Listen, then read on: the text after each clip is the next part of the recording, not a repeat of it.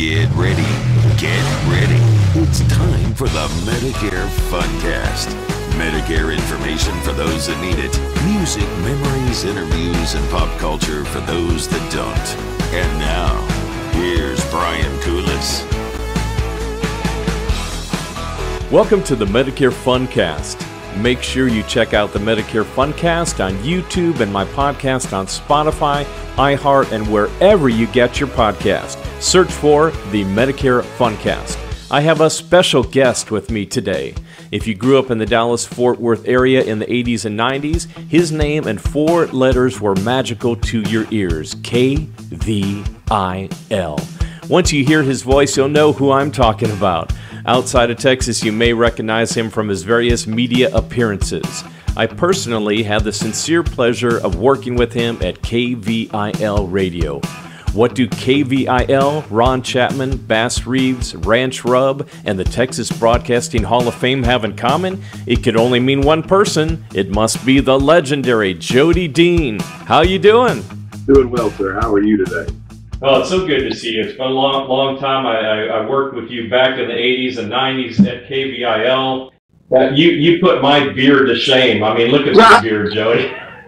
Well, I, I can get this for sure. You know, it, John Glenn used to say that if it, a man wants to waste his hormones growing a bit, uh, growing hair, that's up to him.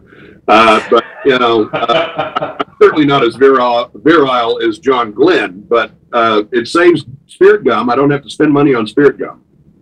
And uh, are, are, you? Did you take like some uh, ZZ Top Billy Gibbons injections, like hormone injections? You know, it's funny because uh, years ago when I was still at KVIL, we did a promotion at the old Hard Rock Cafe, mm-hmm. and it was a karaoke thing, and it was when that was huge, and I think we call it KVIL Idol or something like that. Okay. And, uh, each one of the staff members had to get up on stage, and we had to lip sync to our favorite songs. Well, I did Sharp Dressed Man and I had nice. the full on. I didn't have this much beard then. I had kind of like a, but I put a mustache over it and then a full beard. It came down to here, and I had a black duster, and uh, you know the ZZ Top uh, guinea cap that had the braid across the top. Written Absolutely, yes. I, and so I'm waiting to go on, and I'm out standing. It was so hot. It was so hot inside that club that night.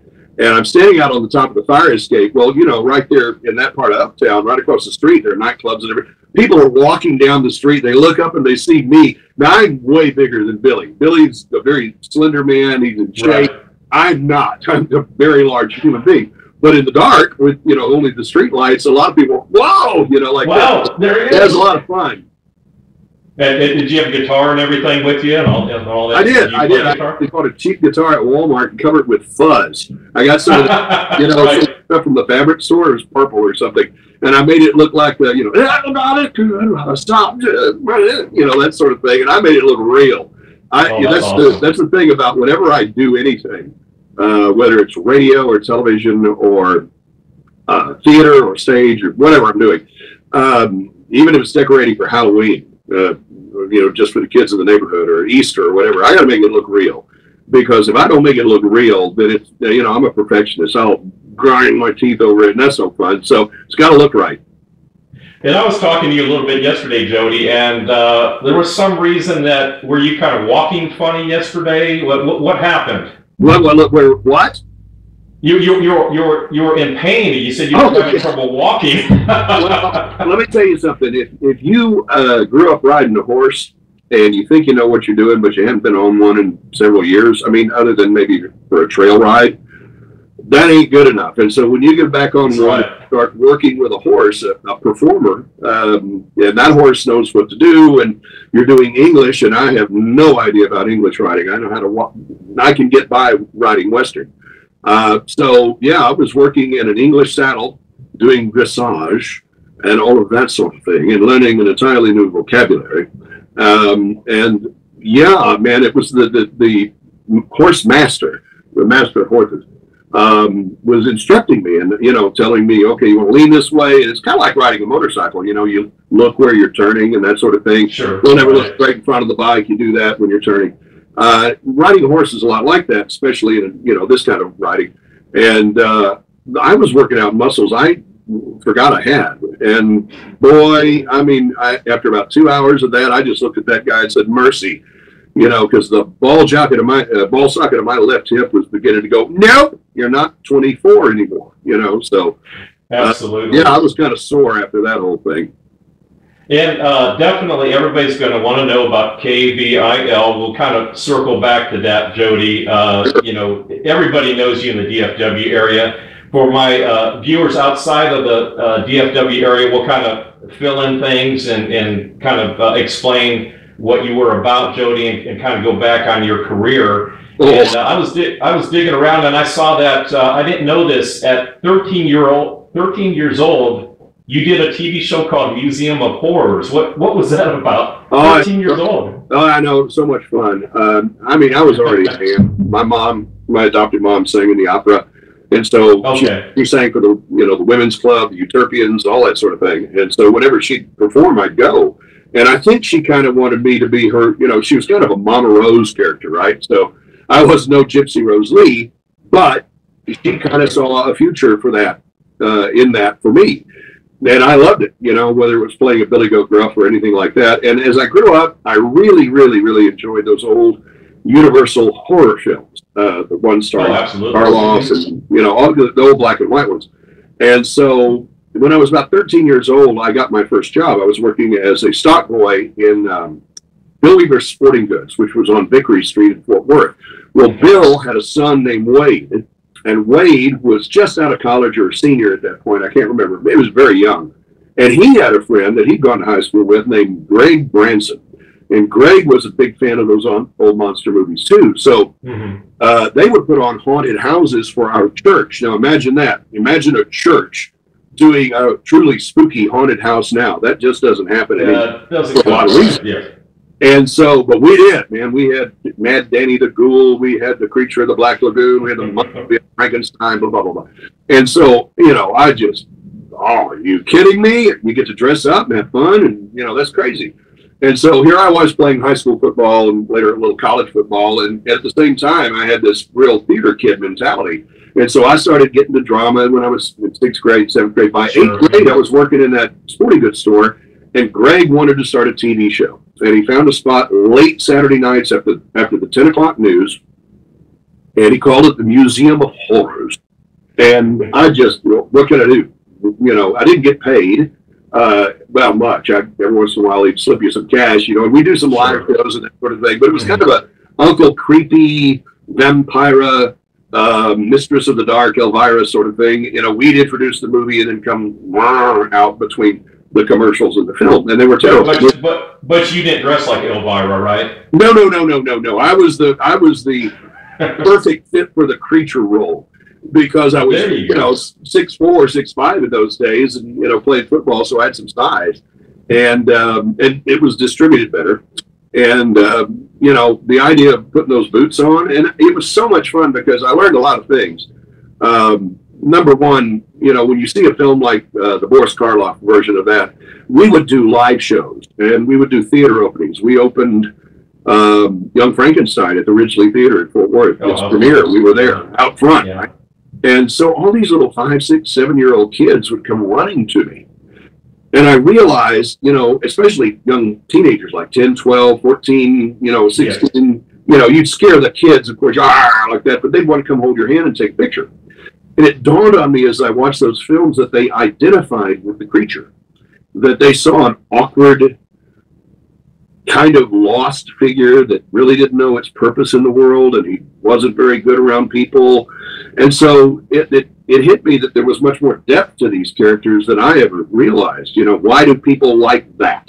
What is it yes. they see in that? Yes. And that was a big thing with those old Universal Studios films because, like Wolfman, he was a man bearing a curse. And, uh, the, you know, the launch, I like to tell people if you watch the original Boris Karloff Frankenstein, uh, the creature is not the monster. The people are the. His creator is the monster. That's, that's right. He, he, is. He's yeah, misunder, misunderstood. And yeah, uh, there's, a, there's a scene where he's with the little girl and the daisy, right? The oh, yeah. Oh, and they, you know, they edited that terribly and made it look horrible when it first came out. And restored footage shows that he was just okay, if the flowers float, so does she. And then all of a sudden, to his horror, oh my God, yes. didn't float.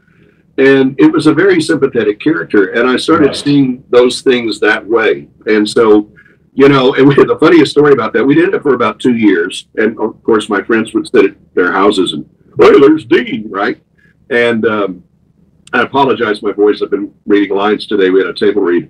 And um, so they'd sit and watch, and then we got a call one day, and the program director of the station wanted to meet us. This is 1975. And he said, Well, we're going to move you to Saturday day instead of Saturday night. Who wants to watch a horror movie in the middle of the day?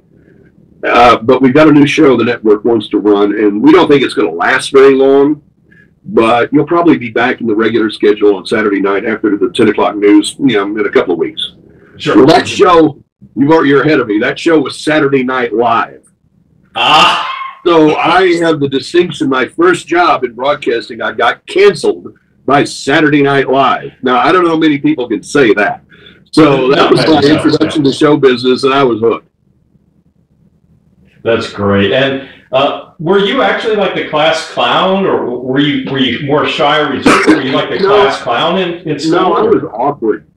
I was terribly awkward, and you know, for a lot of different reasons. Um, it was a deep, it was a deep thing. Um, I, of course, like any other teenage boy, I loved attention, and I hung out with some great guys. We're still friends. You know, it's been forever, and uh, I've never had a better group. Well, I've worked some, with some pretty special people and gotten to know some really deep connections over my career. But as far as my buddies, those guys are still my buddies. We have a That's right. a text chain. There's about 22 of us in the bunch, starting offense and starting defense for Paschal. And uh, so, yeah, we stay together. So, but I was also the theater kid. And, you know, I found a lot of expression. Um I grew up in a household with a lot of illness, a lot of death. Um, my mom and pop, my adopted parents lost five children and all. My sister died when I was six, when she was 12. And I think at some point up until Susan died, I kind of wanted attention. And so, you know, being, you know, a football player or, you know, being a, a kid in the play, it kind of forced people to watch. And so I think that's part of the reason that I got into it. I, it wasn't that I liked the sound of my own voice. I hate the sound of my own voice, which is why I learned to do different voices. But sitting through an air check session, oh my God, that was, you know, that was like the Oh, that's that. I always hated that. It's brutal. Oh. that's that's Oh, I hated it. I hated it because I couldn't. I thought I sucked. And but when other people thought I could do it, boy, that was you know gas in the tank, and it didn't take much. Um, my one of my best friends' dad, uh, Ted Norman, who was a pioneer in broadcasting, sang in orchestra, sang in New York, came back here, sang for WBAP, eventually got in station management. He was a genius, genius of a man. He created KSCS, which is Silver Country Stereo, the big Sure. FM country station here. It's been around forever. He created that. Well, he wrote a letter to the college where I went to school, and he basically said, "You need this guy." And when a guy like Ted Norman, who flew B-17 missions during World War II, before he ever got into that business, uh, writes you a letter like that, yeah, you can go a long way. You can go many miles on something, and I did. The greatest generation. I love them. Yeah. I knew a lot of those people, and I worked with them too. And you know, I look back. That's always been the craziest thing when I look back at the list of names of people that I've worked with through no Yes. through no responsibility of my own. You know, who gets to work with Dan Rather? Who gets to work with Ron Chapman? Who gets to work with Dick Clark? Yes. You know, I've been to, I've been able to work with these people, and I look back and I go, I mean, you name the country artist or rock and roll artist, I've probably been on stage with them at some time. And uh, you know, you, you stand backstage and you watch Roy Orbison required by the audience to sing four encores of just the chorus of crying. Mm, mm, amazing. You see how people Uh, do their stuff, and you think, okay, I don't know how or why, but thank you, God, right? Now you uh, you also worked at Billy Bob's Texas, right, as a DJ and rodeo announcer. When we opened that place, we were loading in the tables the day that President Reagan was shot. Oh my! And we did not know if there would be a crowd for that 1st Mhm. weekend, right? And we fire coded the first night. You know, people wanted to get out and take a breath after that horrible thing. So, um, yeah, our, our DJ booth at the time was a folding table on the corner of the dance floor. And it was terrifying because I would have the Orange Blossom Special play, and some couple would come by doing the swing, and you just prayed they didn't hit that table. Eventually, we moved it, ironically, into an old Methodist pulpit that I think belonged to Spencer Taylor's dad. He was one of the co-founders of the club. Right. And, you know, you get to work with Conway Twitty and Chuck Berry and Bob Hope and Johnny Cash, Willie Nelson. And, uh, you know, we were there on a Thursday night. The, the official record says it was a weekend, but George Strait came in on a Thursday night before he'd hit with Amarillo by morning. Sure. Mm-hmm. Nobody knew who he was. We had the Rolling Stones come in on Halloween night in 1981 or 82. I can't remember. It's 81, I think. They just played the Cotton Bowl in a driving rain. And oh, yes, I went to that. Went to that yeah. concert. Yeah, absolutely. and they played the next day. It was a beautiful November first. Right, it's gorgeous. Well, after their show on the, on Halloween, they put on some of those cheap masks you could get at Five and Dime, and they came in the club. Nobody knew knew it was there. Oh, that's hilarious! Wow. Uh, how do you? I mean, tell me, tell me another life I could have chosen where I could have witnessed things like that. Absolutely. And uh, one night in March of 1981, uh, a certain Ron Chapman uh, walks into Billy Bob's. Tell us about that. He and our wonderful afternoon drive host at the time, Larry Dixon, had right. come over to see the club before it opened. They wanted to see what everybody was talking about. And so they came into the rodeo arena, the bull riding arena. And I hadn't yet signed on to the, be the rodeo announcer. They kind of talked about it. I was still just the DJ. I'd come from a club called Spencer's Palace, which was owned yes. by investors and Billy Bob's. And so they moved me over, which I really wanted to do. But, you know, rodeo, I'd kind of done that, you know, some small town things like that. But, you know, these are tourists coming all from all over the world. And it's very tight show. And so I'm in there helping hoist the speakers. They had a big center speaker stack right in the middle of the arena. And Ron and Larry came in, and I'd already sent Ron a couple of air checks from KLIF, KXOL, and I sucked. I was so bad. And, but he he heard something eventually. But I walked over to him, and I had this fringe jacket. My beard and my hair were black. I had on a black hat. The only thing missing from this Hank Williams Jr. ensemble were the shades. And I walked over and I had on riding heels, so I'm this much taller than I ordinarily would be. And I put my big, you know, meat hook on his shoulder. He turned around and I said, I will come work for you. My exact words. And he said, aha, you know, like he's never heard this before. And uh, he said, come by the station one day and watch my show. And I said, I'll be there at three in the morning. And I drove straight from Billy Bob's after we finished with those speakers, about one or two. Yes. And I drove and I parked in the parking lot and waited until he showed up at the Capital Bank building and I saw my first show. I didn't change clothes, didn't go home. You know, I just, I was there. And I guess that impressed him at some point because it was like, this guy really wants to be here. And I didn't care what they had for me. It was like, that was my dream. I knew what they did was the right way to do it. I could hear it. And it was impressive. They put the listener first. They never talked about the audience. They talked about the listener. On your first night there, they would show us a picture of Nancy Lundquist, who was Verne's Lund, Verne Lundquist's wife.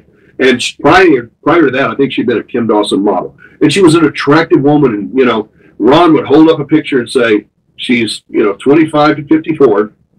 She's professional. She has her own life. She has her own standards.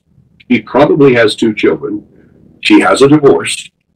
She's on her own, and you will treat her like the lady that she is." That was our coaching. That was our education number one, that was so target specific that you had a mission. You knew exactly what you were supposed to do and how. How would you talk to that woman? What would you say to her? How would you identify with her day? Getting up in the morning, putting on those fuzzy slippers, walking to the window, seeing if the world right. is still there, a cup of coffee maybe before the kids get up, a few minutes of your own, you know, all of that sort of thing. And they thought about that. And the other thing was, you want me to play records for women? Okay, you know, I mean, as a DJ who worked in the nightclubs, I realized really quick it wasn't the dudes who came up wanting to hear a song. You, if you wanted to get noticed, if you wanted people to pay attention, play the songs the girls like, and that's what we did. And Absolutely right. you know, I are you kidding me? It was awesome, you know, and the, and our listeners were amazing people. I mean, we did some crazy stuff, and they were always there for us, and they always believed in us. And finally, we let them down. I mean, radio became something different, and it became less listener focused and more profit focused. And once that happened, it was only a matter of time. But in those days, it was Camelot. Now, for those living outside of the area, Jody, uh, kind of explain some more. What was the phenomenon known as KVIL? Well, it was kind of the same as Southwest Airlines when it first started out. Southwest Airlines um, referred to itself as the little airline that could, the airline that Love built, right? Love Field. Right. Mm-hmm. And so it was that kind of creativity and and the, and the ingenuity and brilliance of people like Jim Hilliard and Reg Johns and George Johns and Ron, uh, of course, Ron. Uh, but all those people just kind of fell in like tumblers in a lock. Yes. And they, they got it. We did a promotion once. We actually did three years called the KVIL Auto Show. And the idea was if you put our bumper sticker on, and people said, oh, nobody's going to do that. If you put our bumper sticker on and we have your license plate and read it on the air, you yes. win one of three prizes either your next car payment, or sometimes all your next car payments, or a new car. Absolutely. And we gave away a new car. Imagine radio doing this now. We gave away a new car every week for 10 weeks. One time we gave away a six pack of Chevrolets. Six in one day. One day. The reason that worked was because Jim Hilliard took a look at the very first KVIL auto sticker. We didn't call them bumper stickers. We, we didn't want to tell where people where to put it one of our rules was never tell the audience what to do. Okay? Tell them what there is to do and let up let them make up their own minds. That's an old, you know, journalistic standard. Don't tell them what to think, just tell them what happened and let them make their decision.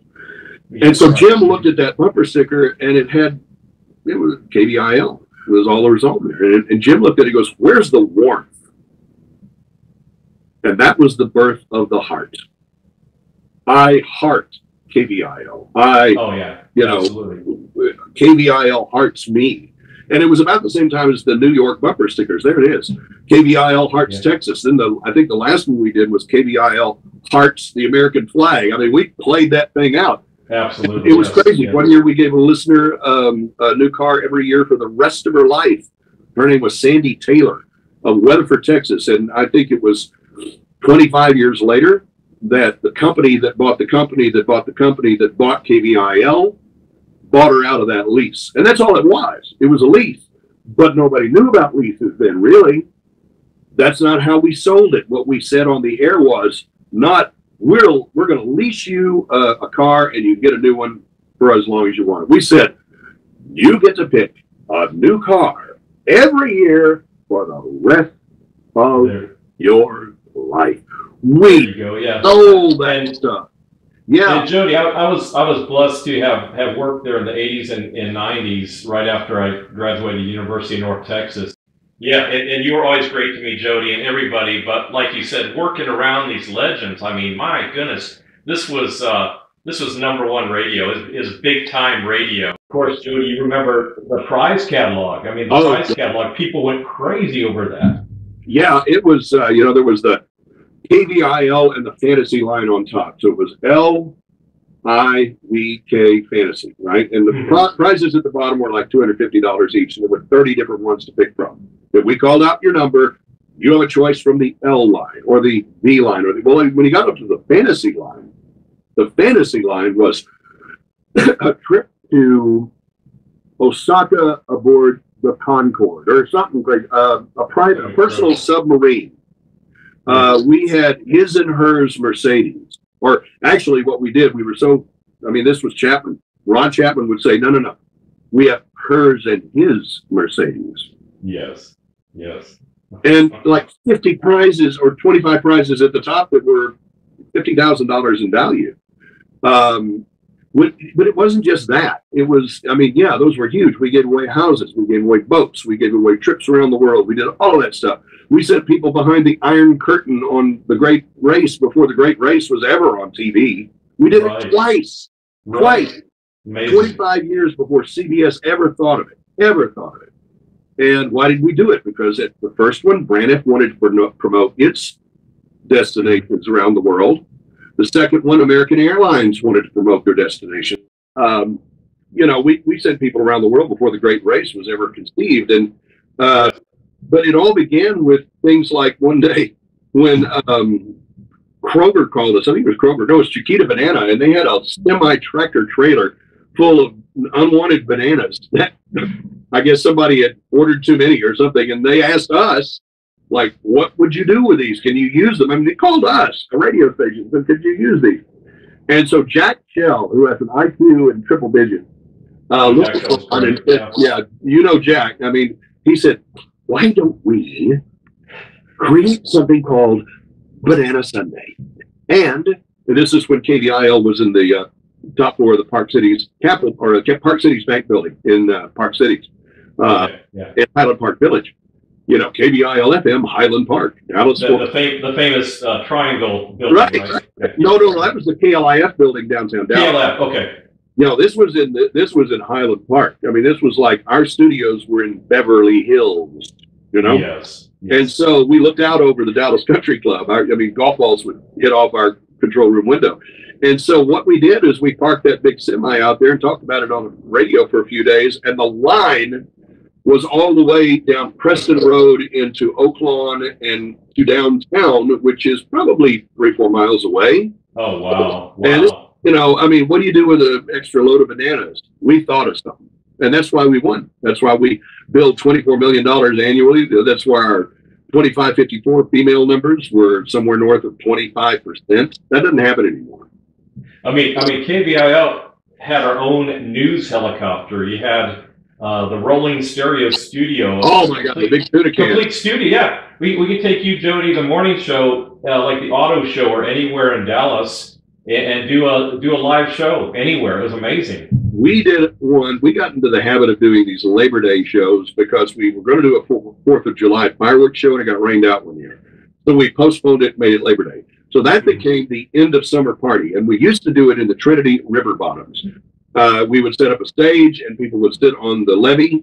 And we had Restless Heart, we had Ray Wylie Hubbard, we had all kinds Yes. of people down there. And so one year, Ron had gone to um, the Kentucky Derby and they have a big brunch, you know, the Mint Julep brunch, right? And so they had this big brunch and before dawn fireworks or at dawn. And Ron went, nobody's doing that. And so he came back and he said, why don't we find a place where we can do morning fireworks? Well, uh, obviously it's going to have to be someplace outside the city. So we found this little place just west of US 75, Central Expressway in McKinney on Virginia. And there was one building on it at the time, and it was the visitor center for Stonebridge Ranch.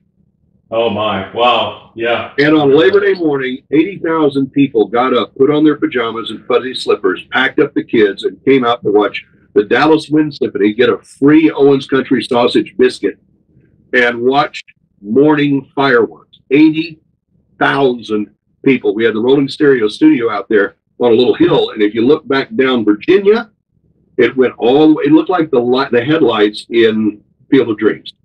That's crazy. It was- that they'll come. if you Well, watch it, that they will know, come. and that was always the challenge is we would always have to think okay we've got to do something bigger and and after a time you know when you had four newspapers in town and 18 department stores and everybody is uh, advertising and spending money but part of the you know the thing that i noticed is that there became a noticeable lack of creativity among the sales force over time not ours necessarily but when i left you know by the time i left uh, krld and went back into uh, music radio at KLUV Yes. Mhm. um, I noticed as I would drive on the major thoroughfares in town that most of our advertisers seemed to be along certain highways. I didn't see many of our advertisers at all in Fort Worth after, let's say, about 1991, 92. I mean, Right. hung on, but it seemed like there were vast untapped markets that people would just get off the road, you know? And then, you know, of course, what they did later, uh, corporate radio decided, well, we're just going to we're not going to pay you a salary anymore. We're just going to pay you straight commission. And you know what happens when you do that? Most of your sales force is going to be very young. They don't, you know, there's no security to stick around for. Like when we were at Sure. KVIL, That's I mean, right. nobody left KVIL. Nobody left. We had a They were making big bucks. Yeah. oh, we, we had a portrait in the lobby at the Million Dollar Sales Club, and there were ten people in the portrait. Sure. Absolutely. That doesn't happen anymore. And the reason it doesn't anymore. happen is not because there aren't quality people out there. It's because corporate radio doesn't know how to keep it, attract and keep them. Now, uh, Jody, uh, refresh my memory on this. Uh, did Ron, Ron and you in the morning show, uh, Ron just announced uh, with no explanation for everyone to send in a dollar? If you go to my SoundCloud page, you will find the promo that ran that day.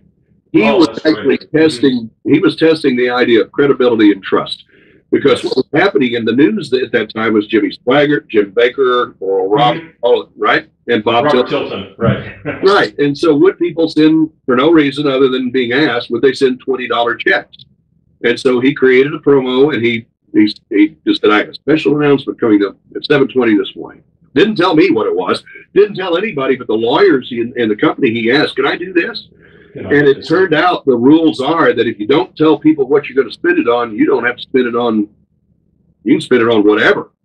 If you give them a specific target, we're going to spend this money on this Mhm. and then you violate that, then you've got a problem. But if you just say, I need money, send me money, and you don't really tell them this is going to this and that's going to that, all bets are off. And so, you know, he said, I'll never read the promo. I was in on the phone, and of course, phones were ringing all the time. I had to answer every call because most important person at any business is the one who answers the phone, right? That was a big KVIL rule the press always gets through, you know, things like that. God help you right. for a reporter trying to call a radio station. Now you got to go to corporate, and, you know, just forget Right, it. You can't right. get anybody. Try to call an AE, you can't get anybody.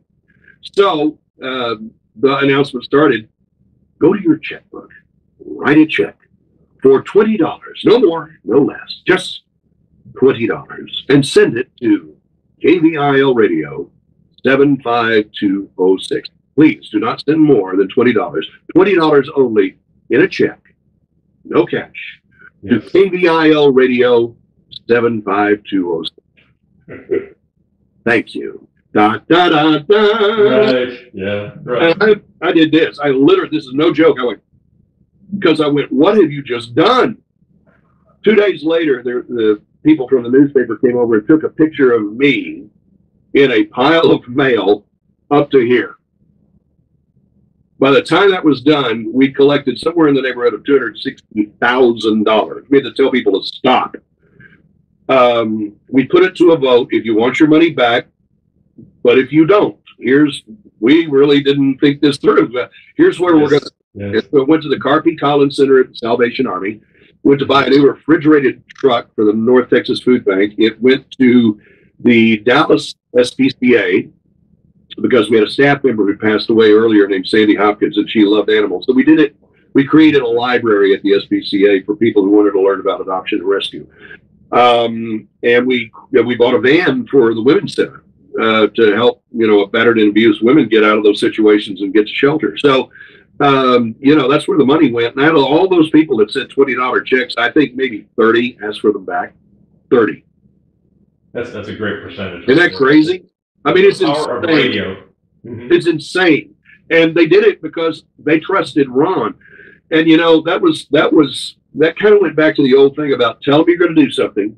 The the first rule of promotions. Tell them you're going to do something, do it. Tell them you did it.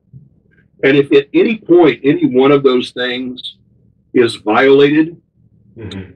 then you fracture that trust with your listener. And boy, God help you if you did that because you would not last long at that station. We didn't let many people go, but some of them went, went rather um, violently. Violent.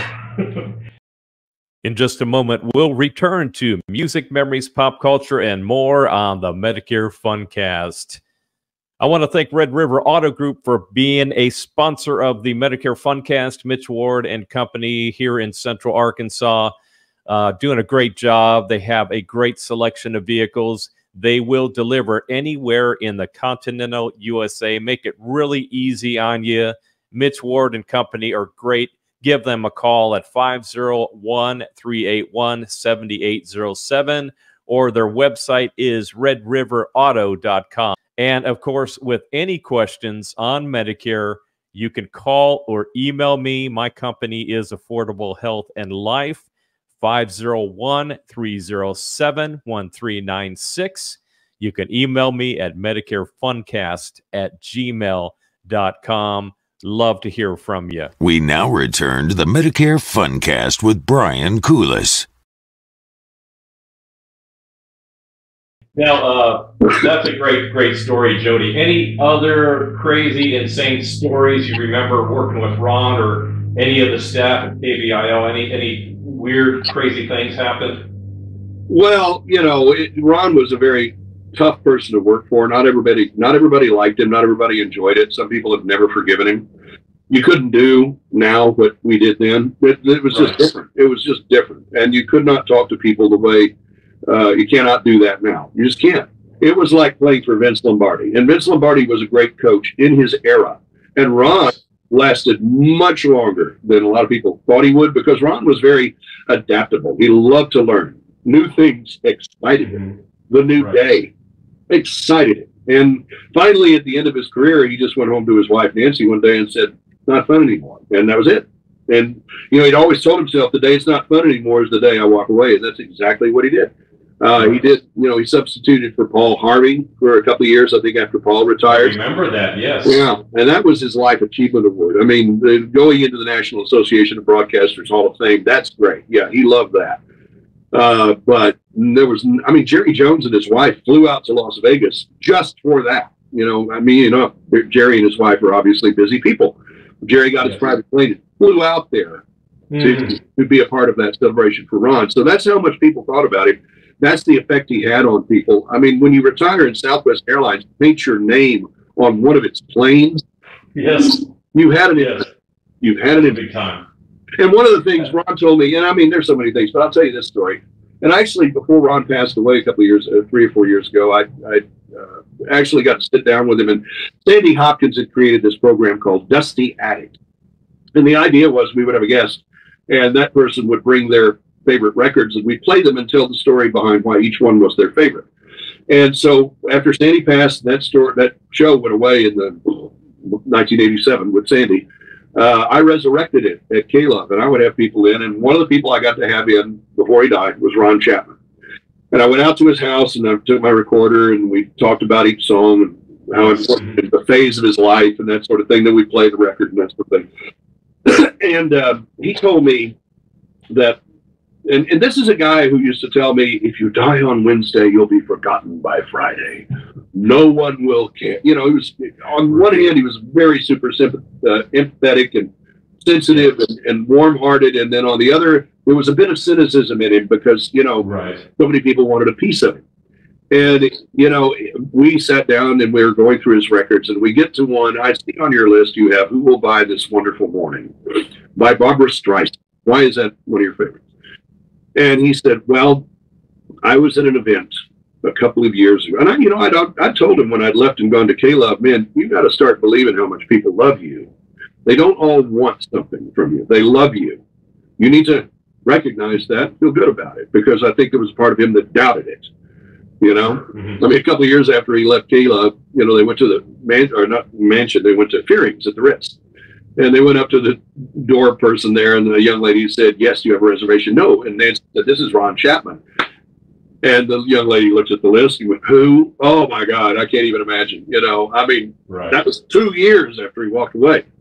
So Mhm. anyway, he's telling the story about this woman who came up to him at an event and said, "You saved my life, really, because the morning that President Reagan was shot, the morning after, right.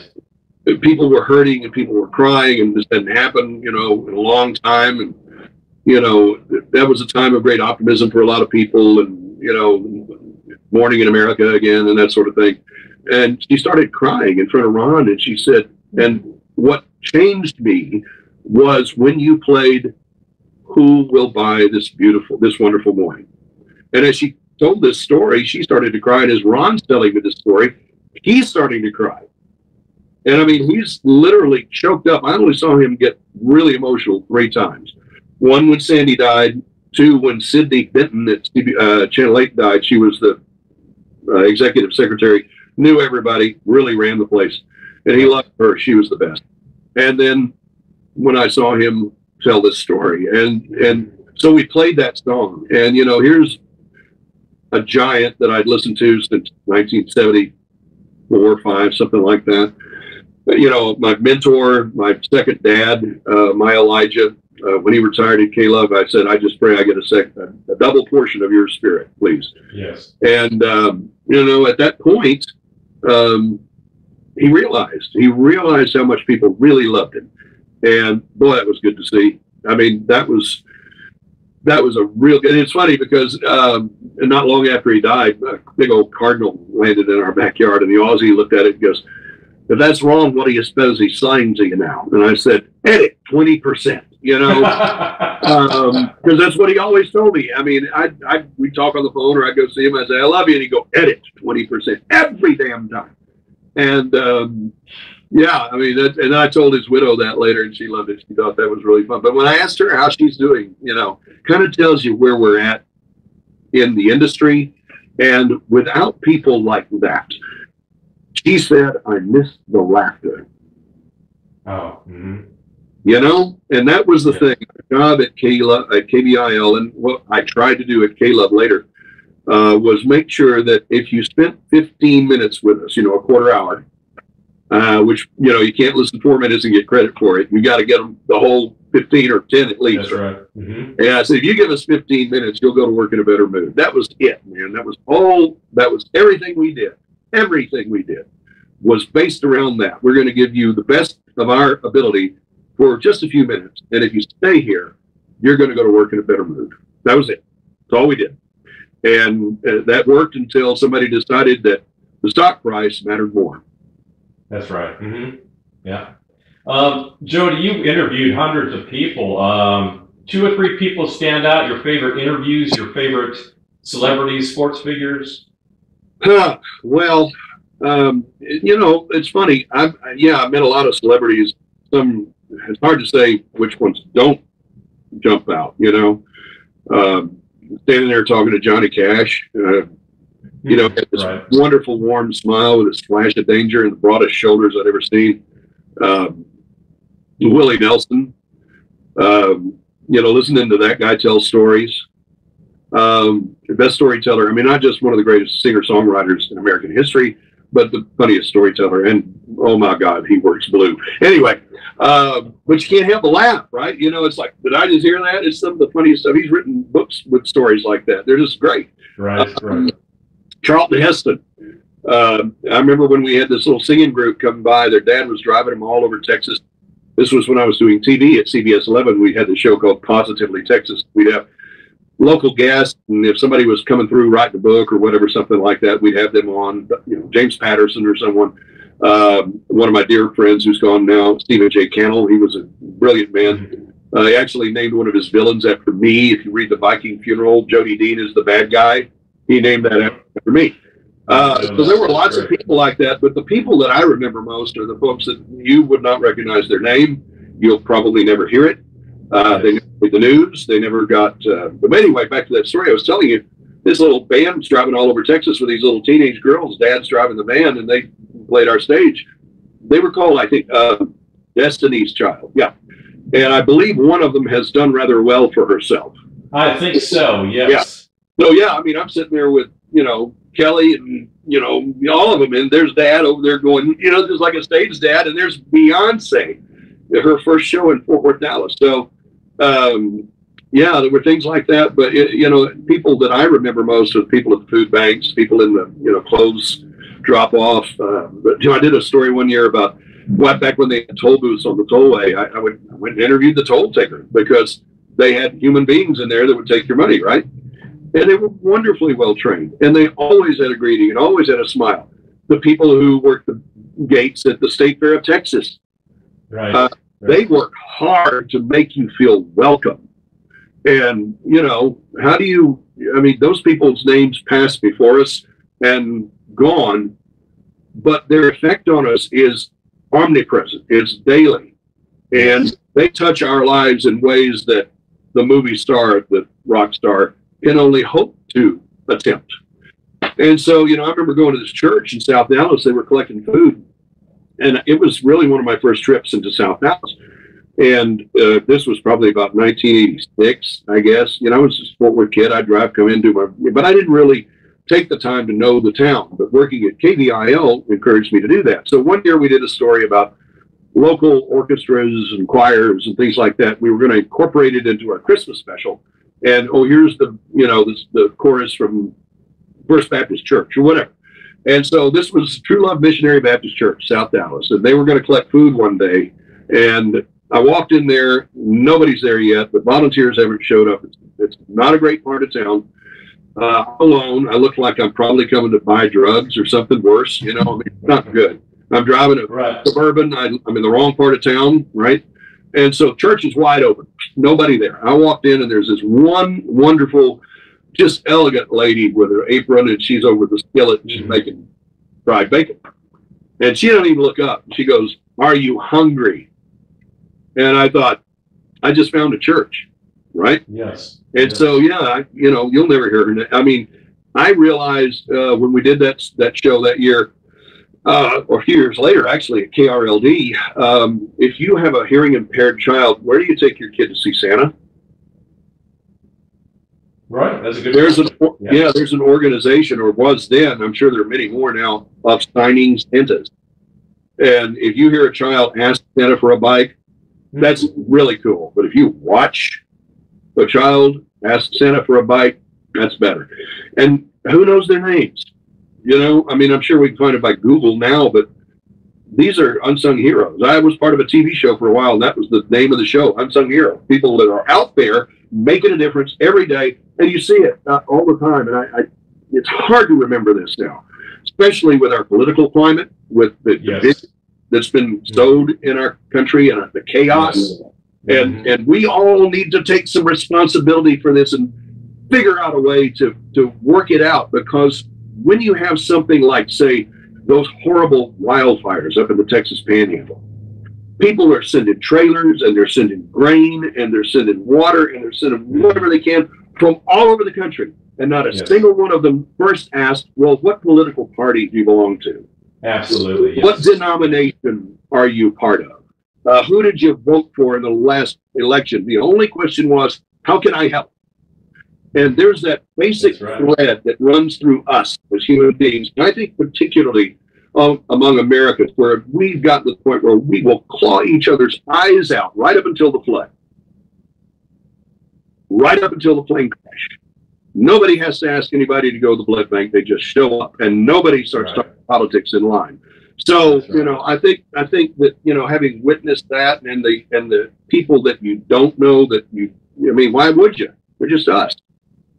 They're just us. They're not. They're just us, and they have that. Humble people. They, they, typically don't want accolades. That's right. They they just have a thread of uncommon decency, yeah, and absolutely. and I think that that means it may not be that uncommon. It just needs to be, I don't know, appealed to. Maybe, maybe you know, if we just reminded ourselves of who we can be. that's what I used to say about advertising. You got two kinds: inspirational, which is the kind that gets you up off your couch to go do something, and yes aspirational, which asks you what kind of person you want to be. If you can achieve the second, the first is easy. That's why so many commercials now show not just the new Ram truck, but the Ram, Ram truck against the Rocky Mountains going through three feet of snow and all that. What kind of person do you want to be? Well, that kind of person drives a Ram or a Ford or a Chevy. That works. And uh, I watch political ads during campaign season. My heart breaks because yes. no one's asking us what kind of people do we want to be. Do we want to be the kind who lock doors and shut people out, or do we want to be the ones who say, "You're hurting. How can I help?" Exactly. And I think that, exactly. you know, nobody used to build a barn alone. Neighbors would come. They still do. Mm-hmm. They do. That's it. There's still that America, and there's there's still hope out there it's kind of calloused over a little.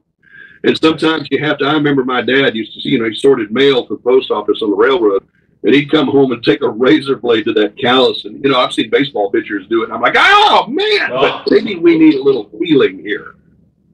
And, and also, and also used to edit tape there at KVIL, and you used to have, you know, razor blade, and we we'd edit the magnetic tape, and you you'd have blood all over the place. So it was, uh, yeah, uh, boy, I remember that seems so far away. I mean, Doesn't you can it? build it. This is my home studio, and I can do TV or audio in here, video. It doesn't make any difference. But the crazy thing is, is that I could, I did equip this place with three trips to Sam Ash and maybe 500 bucks. You know as well as I do to do a studio once upon a time, 50, 50 grand, 100 grand, Oh, grand, waiting. That doesn't happen anymore. I mean, why? Which is the other thing. People, you know, say, "Oh, I want to get the radio and TV." I go, "What's stopping you?" That's right. It's You know, there's your studio. Yeah. There's your studio. So I hope my phone's battery lasts long enough. I've got to go eat dinner too here in a few minutes. The, the Oh, no problem. I, yeah, I just wanted to uh, quickly ask a couple more questions of you, Jody, if you have a second. Uh, tell us about uh, your your life now with a, with a tool belt and hammer in your hand, and uh, the Chosen and Bass Reeves. Well, set building is getting to build toys for that, that other people play with. That's a pretty cool job. And it's really fun to sit at home and watch one of these shows and go, hey, we built that chimney or hey, we built that swimming pool. Right. Uh, it, it helps the area. It's really good for Texas, and I love that.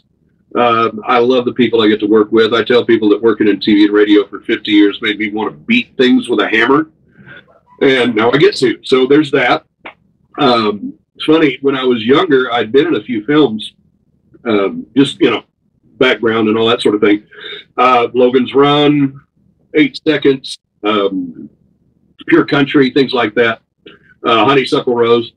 And um, right. I've done theater here and there, Damn Yankees and Annie Get Your Gun and Music Man and Odd Couple and stuff like that. Well, my younger son is in the film business. He's a lighting guy. And he said, Dad, you ought to have some fun here. I think you'd really enjoy it. So why not? So I thought about, well, if I wanted to work as a background or, you know, get some roles, how do I do that? Called up an agent. And she just said, We're not interested in new people starting out. And I said, Honey, I ain't new people. I'm an old people just coming back. You know? And I realized that the best way is any door that's open. So I remembered Harrison Ford got into the film business by doing set carpentry, and I thought, That's right. Yeah. and there there was a guy that we grew up with named Burt Mustin, and Burt didn't start start acting until he was 67. He'd been Oh, a yes. retail That's right. he'd been a retail guy in Pittsburgh, and you know somebody saw him at a play and said, "Would you be in my movie?" I think it was William Wyler, and so he went on to do a movie. Between '67 and his passing at 92, he did 150 films and TV shows. Leave It to Beaver, Mayberry, Andy Griffith, you name it. He was the old guy, right? He was the He was. He, Yeah. He was in. He was in everything. Right. Everything, everything. Yes. Wonderful guy. And so I thought, well, why, why not?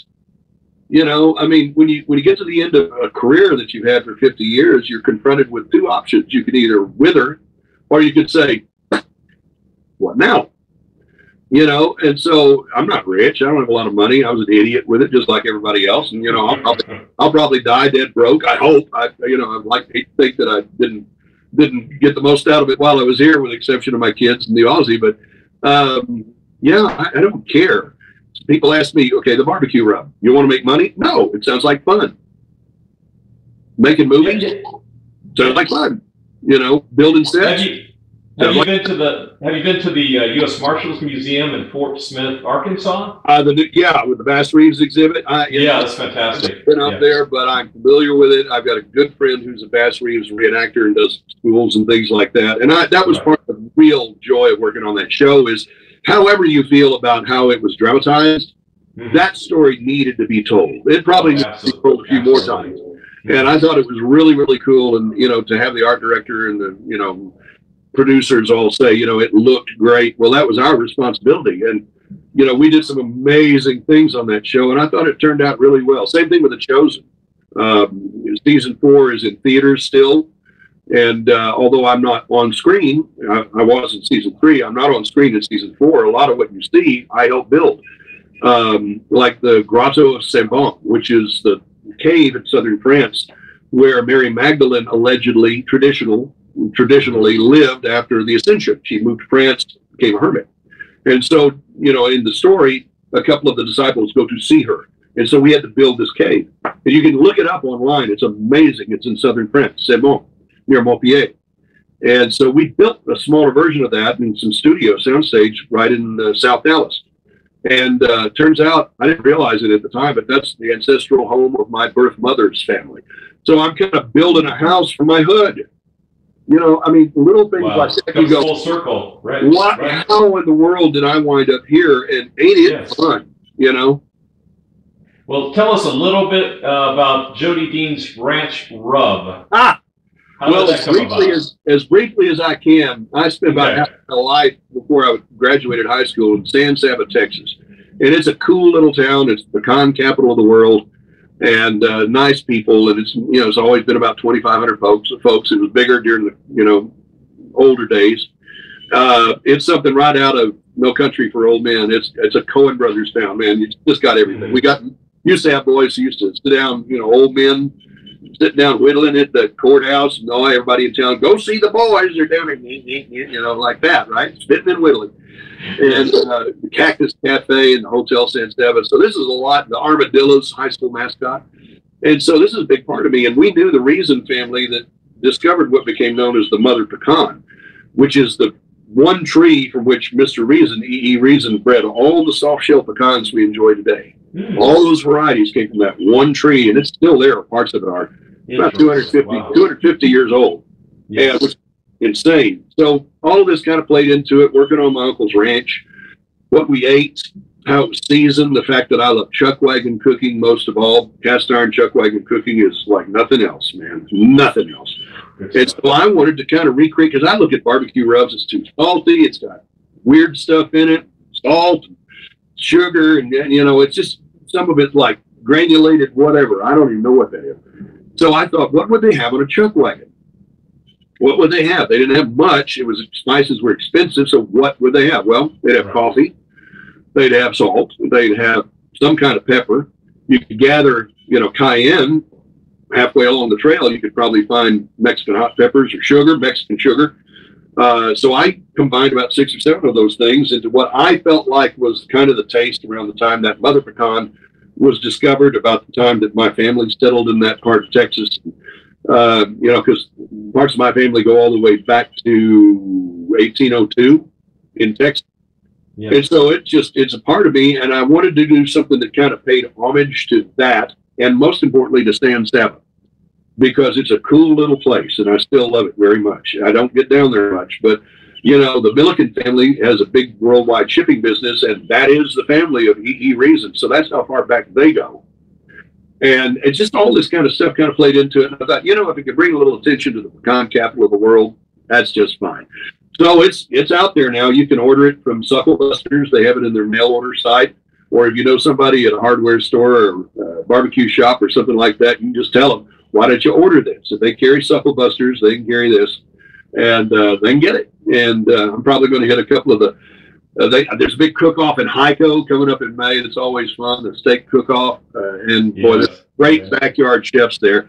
So you know, just hand it out and see what happens. And if it works, it works. If people like it, that's great. If they don't, I do, and I do. I do tell people it's so good it'll even make Tommy Lee Jones smile.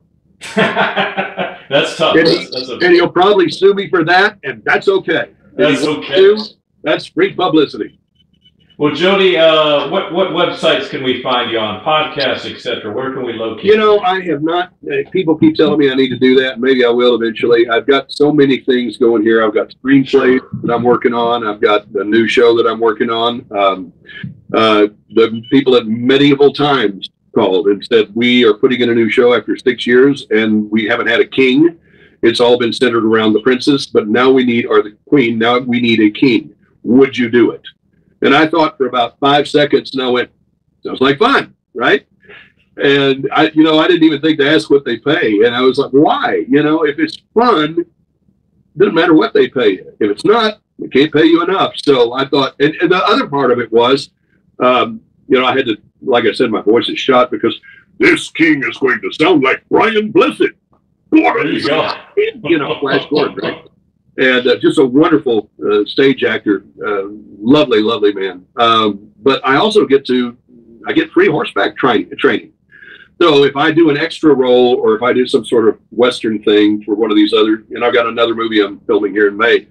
Uh, but if I do anything, and ho- horseback riding is required, I'll know I'll have the skills again. You know, so There you go. that was that seemed like a double. I get paid to go train for. That's pretty cool. So I decided, why not, right? And I don't know how long I'll do it. They're what a great organization. That group. There's a reason they've been around for thirty something years, and it's like you hear the word troupe, like a theatrical troupe or a Shakespearean troupe. Yes. That word is very rarely applies applied anymore. You hear cast, whatever.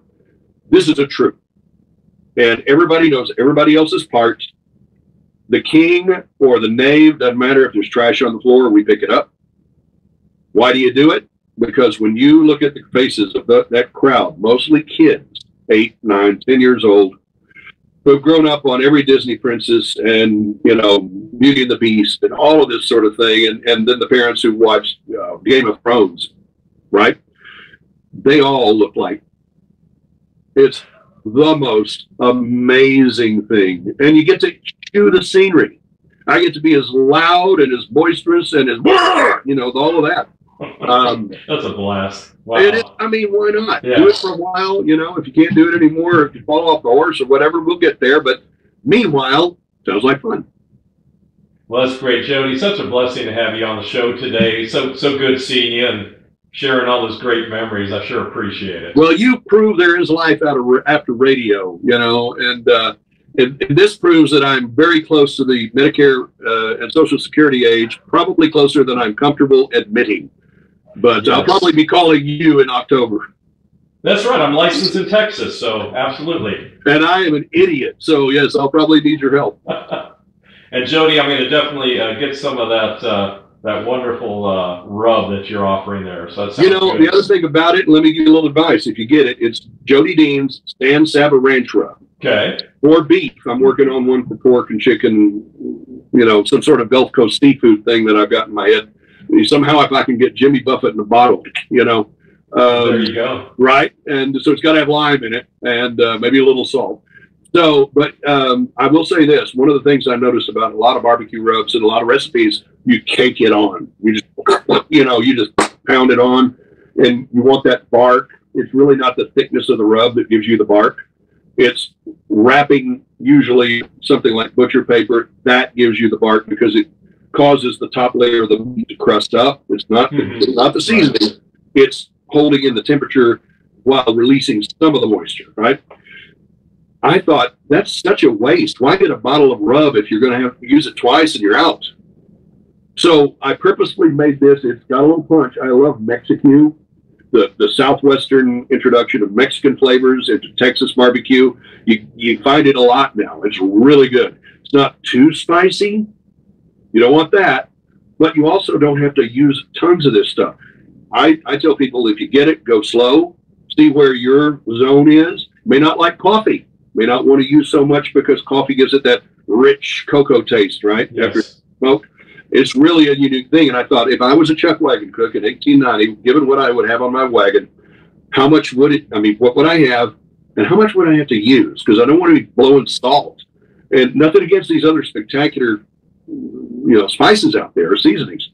But if you see these, I mean, it's like, holy mackerel, that requires a lot. I didn't want that. Now, can you do a cross promotion while you're on horseback at the Renaissance Festival, and then just throw uh, throw some of the bottles out there to the crowd? Or Oh, it's going to be like an old Spice commercial. There's going to be, you know, right, right. Yeah, it's going to be a you know half man, half horse riding around. I only barbecue with you know, right? I don't know. Uh, I, I I don't know. I mean, we'll just see. I'm going to take it to some of these festivals, and I've sent it to some of my old buddies from high school, and they're using it. And you know, I'm coming on like this, waiting for them to tell me whether they like it. My son, who is an absolute barbecue snob, lives in Denver with his wife and two kids. He said he was going to use it this weekend. So I've you know but it is what it is. It's what I like. I had one wonderful chef who said it's too spicy. And I said, well, if you use it like you use any other rub, yeah, maybe. right. Don't, Mhm. don't. You know, a a little should go a long way.